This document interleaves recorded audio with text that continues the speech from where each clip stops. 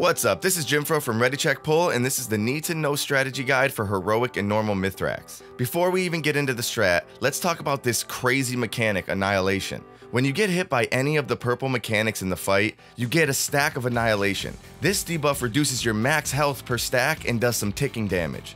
Getting stacks of Annihilation also spawns these little green orbs around you that reduces your Annihilation stacks if you walk over them. You only really need to worry about collecting these orbs if you have high stacks, like above 10 or so. Before the raid starts, you'll need to set two markers down, triangle on the west wall and diamond on the east wall making sure they're at least 40 yards apart. Assign half of the raid to be on the triangle marker and the other half to be on the diamond marker. You're setting this up for the ad phase. Okay, let's start off first in the active phase. The boss is automatically pulled by jumping down into his room, so make sure a tank jumps first. Start by pulling the boss towards the north wall and facing him away from the raid. About every 20 seconds, the boss will cast a big frontal cone on the tank. This is where the tanks should taunt swap, and the tank who doesn't have the boss, the one with the stacks, should run around collecting the little green orbs on the ground to get rid of their annihilation stacks. The raid should stay spread 5 yards apart from each other at all times, while staying as close to the boss as possible. Purple orbs will occasionally spawn on random players that charm everyone within 5 yards.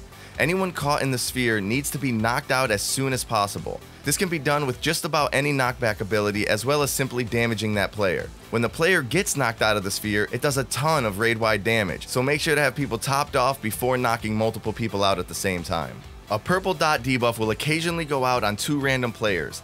These players have 12 seconds to get to their markers, one goes to triangle and one goes to diamond, before the debuff expires, triggering raid-wide damage that does less damage the further away they are. Also, dodge the giant purple wave that the boss randomly casts. I promise, all of this is way easier to execute than it is to say it in a video. Continuing, every 25% HP, the boss walks to the middle of the room and starts casting. The raid needs to immediately head toward their assigned markers while maintaining a 5 yard spread, while still DPSing the boss though. At the end of the cast, the ad phase starts. The raid needs to immediately stack up on their assigned markers. The tanks need to move each big ad to their marker and face it away from the raid. The big ads need to be interrupted, which the tanks can handle.